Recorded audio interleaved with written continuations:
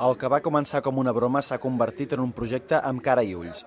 Així ho destaca l'il·lustrador freelance Jordi Roura, conegut amb el nom artístic de Rochi, que és l'autor del text i els dibuixos del còmic Trabucaires contra zombis.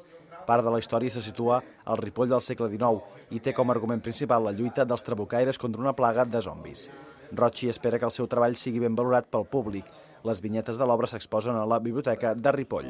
Una gambarrada de projecte, com una cosa que va començar com una broma, i, i al final, doncs, sense massa ambició, la cosa ha anat, ha anat creixent i s'ha fet un còmic, de moment el número 1, aviam quina recepció té i aviam si li agrada a la gent.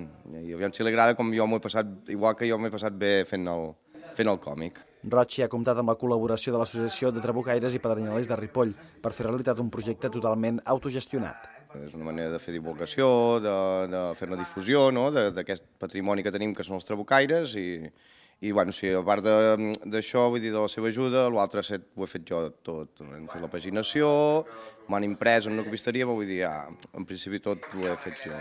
El primer número té una tirada de 200 exemplars i la voluntat de l'autor és fer una sèrie de quatre entregues. De moment ja ha començat a treballar en la segona.